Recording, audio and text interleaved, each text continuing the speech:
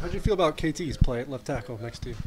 Um, I felt I felt pretty good. You know, it, you know, obviously he didn't have you know the experience, and you know, getting in there for the first time it can be very nerve wracking. You know, I thought he handled it pretty well. You know, we communicated well, and I thought he did a pretty good job. Overall, the offensive line, how did it perform?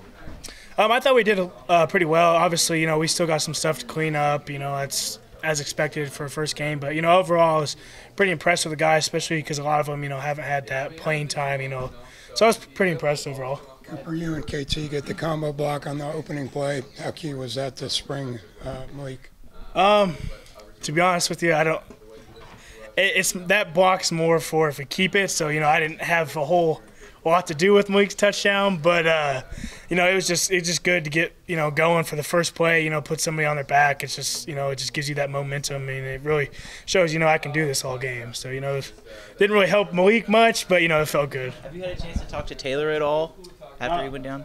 Um, you know, I've talked to him very briefly. Obviously, I don't, I don't know what happened. You know, I'm obviously sending my love to him. You know, and letting him know I'm here for him if he needs me. But I, I don't know anything what happened.